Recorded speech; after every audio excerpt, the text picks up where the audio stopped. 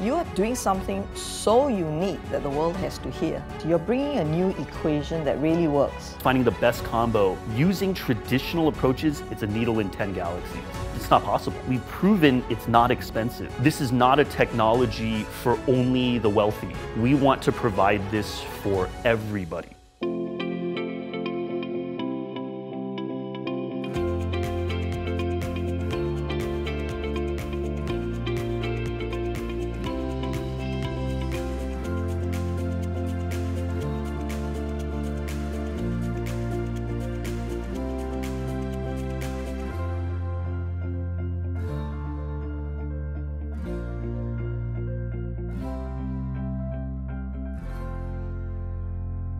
Good afternoon, Prof. Dean Ho. It's a real pleasure to have you. Thanks for having me. You are a very accomplished scientist, a biomedical engineer with a lot of clinical experience in a way.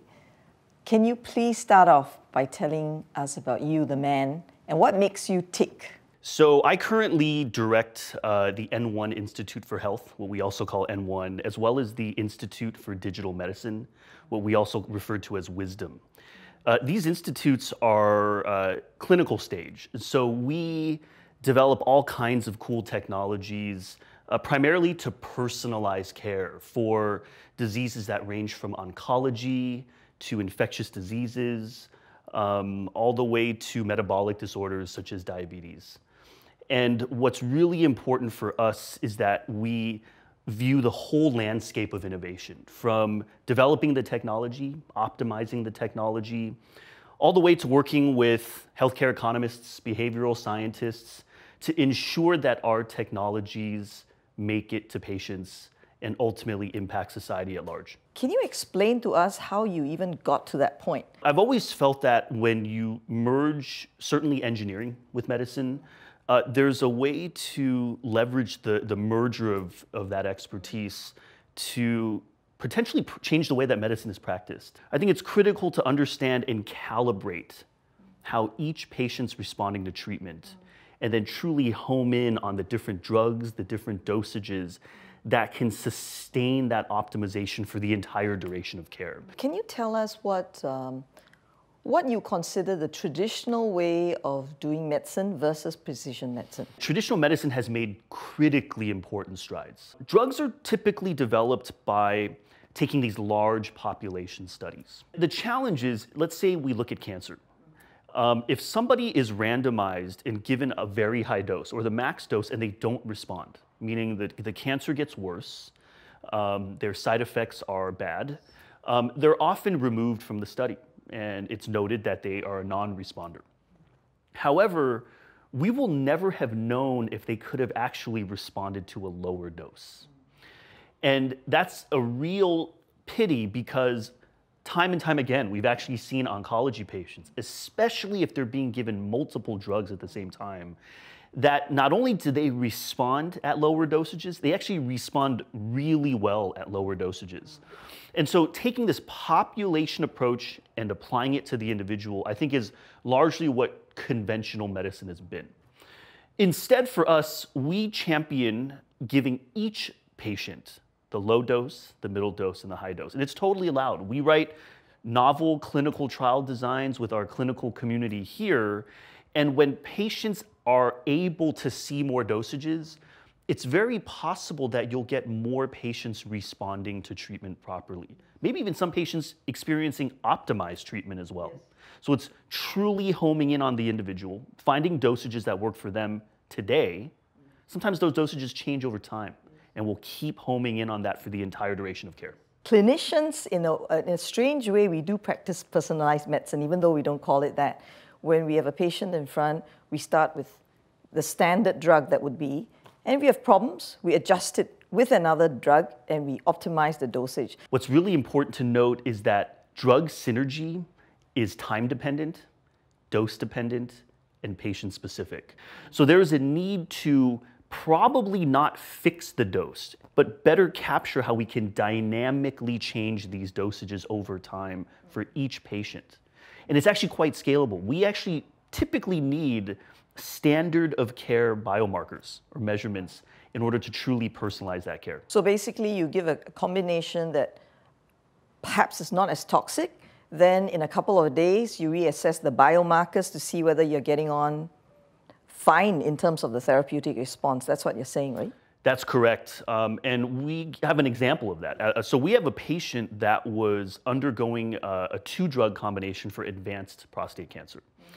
And when that happened, one of the drugs was actually in phase two trials. So it's a brand new drug, and the other one was approved.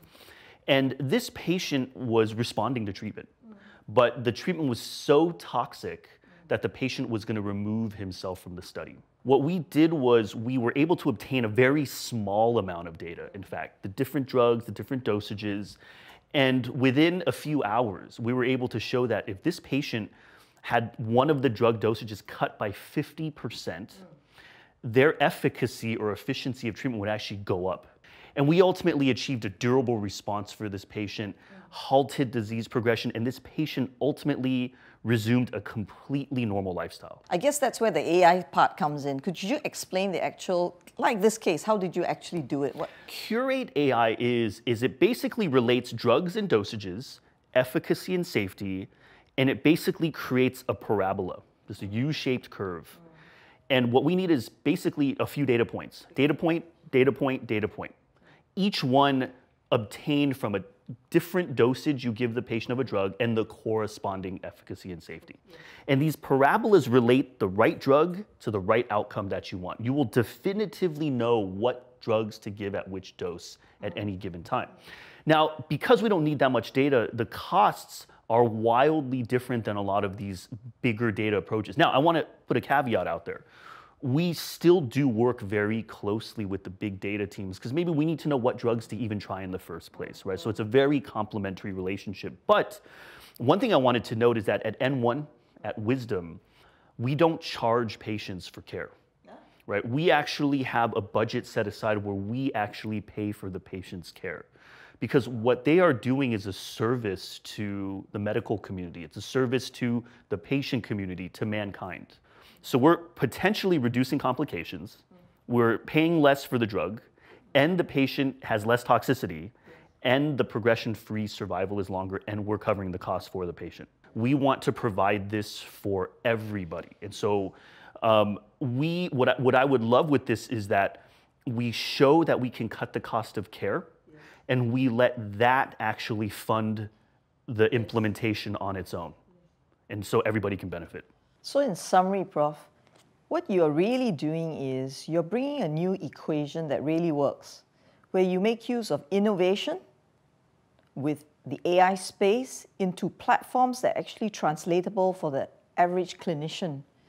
And it is a phenomenal mindset change because you're personalizing it, where the patient themselves are the controlled case study, but you can actually look at the unique interactions with existing data, clinical outcomes, and potting that across because of the AI platform so that a patient can really have a personalized outcome with minimal side effects. And that's the beauty of what you're really proposing the combination of te new technologies, AI, with existing data, big data, scientific studies, as well as the clinical experience, in short, for a personalized approach to patient outcome.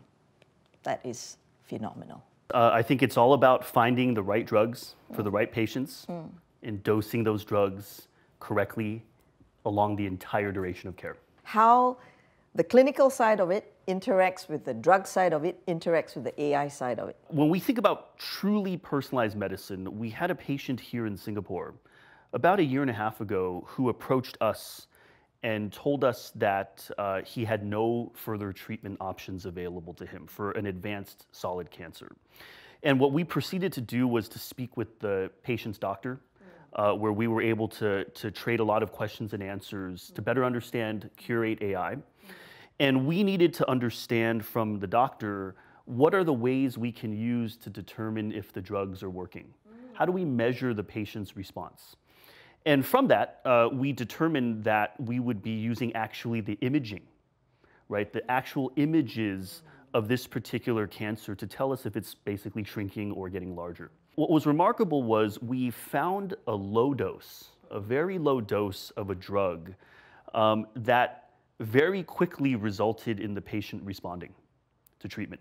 We actually received an image um, of one of the metastatic growths, and it was there was actually a hole that appeared in it once we started treating this patient.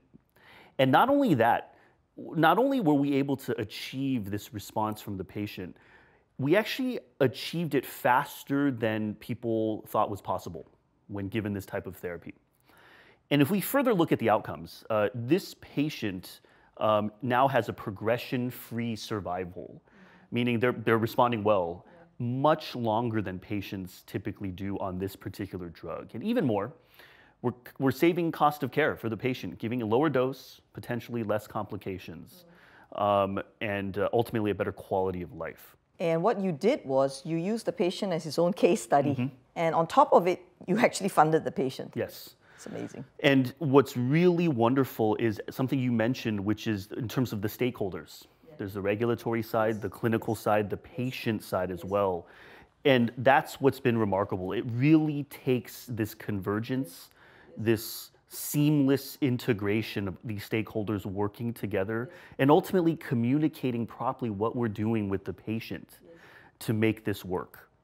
And that's what's been exciting about working in this ecosystem. I think Singapore is really a good place because um, we always want results. It doesn't matter the rest of it, but we want results. We wanted to help patients, and we, uh, I've had the privilege of, of interacting with the regulatory agency here, um, and it's, a, it's an ongoing discussion, right? When we think about changing medicine, it's certainly not overnight. And uh, it takes a process of learning how to advance from one study to the next, how that might influence policy. And all of that's only possible when we have this open line of communication with the regulators. You're changing the way we actually look at healthcare um, outcomes vis a vis costs. Could you go a little bit into that? Drugs are expensive to develop because a lot of the process involves error. It involves the quest to find which dose works, you know, are we delivering the drug in the right combination, et cetera. But we have a chance now to remove the uncertainty of that development process. And drugs on the market now, some of them are remarkably expensive, right? And of course, it's not only the cost of development, there's also calculations of giving this drug to what degree does it improve quality of life and add productivity to the patient's ability to, to contribute back to society. But we are in a phase now where we have drugs that cost over a million dollars for the patient. And so, using our technology, a novel combination was developed using repositioned or repurposed drugs. These are drugs that are approved for human use. And what was interesting was not only did we develop a novel combo, we actually found that the standard of care that's given ranks much lower in terms of efficacy. And so this combination was proven to work in cells, it was proven to work in animals, and ultimately in humans, it was shown to cut the treatment time nearly in half, okay, from six months down to three months roughly. Drug companies have spent hundreds of millions of dollars to try to reduce the amount of the treatment time by a week. We're talking about cutting it into, into three months, down from six months. Ultimately, when that was done, we, uh, you know, our, our technology was able to achieve uh, intellectual property protection for this drug combination. But we never intended to profit off of this. After this was done, we effectively gave the rights away for this drug combination because we did this to prove that we could get this done. And during the course of development, it's important to, to, to, set certain milestones. People want to know can you patent these findings? The answer is yes. But in this case, we don't want to patent the findings, right? We don't have to because we want to give the rights away, publish everything, and allow any clinician in the world who sees these results to use this combination with their patients. And we partnered with a, a, a giant, a powerhouse industry veteran and, and leader to, to help deploy not only the, the therapies, but the awareness of what we're doing. So, what you are suggesting is a completely different way of looking at things where it's a win win for everybody. We talk about technology, we talk about regulatory and the mechanics of developing drugs. But we always have to remember that at the heart of it, it's the patient, right? The patient is the hero going through this, and it's the patient's family. Medicine has long, especially drug development, has long thought that it takes a lot of time, takes a lot of money, and when you finally have a result, whatever that result is, it's got to be expensive to recoup those costs. What if you can spend a thousand times less? Get an answer that's 10x better. The pervasive thought is it's not possible, okay? But we've proven yes. that it is possible. We've proven it's not expensive. Yes. And we've proven that the outcomes are achievable with reduced costs. And then we often get questions of, oh, are we here to save the healthcare system money only? My response is our first and foremost responsibility is to improve the patient's outcomes. And if we can cut the cost of care, this allows the healthcare system to invest yes. in other methods that are advanced as well or help develop newer technologies while still benefiting the patient. We don't have to equate medicine with cashing out our life savings to save our loved ones, right? We can think about doing this economically and ultimately benefiting the patient as much as we can. Thank you very much. You, you really got the patient at the heart, mm -hmm. and you're really looking at things in such a different way. Absolutely. Thank you so much. Thanks for having me.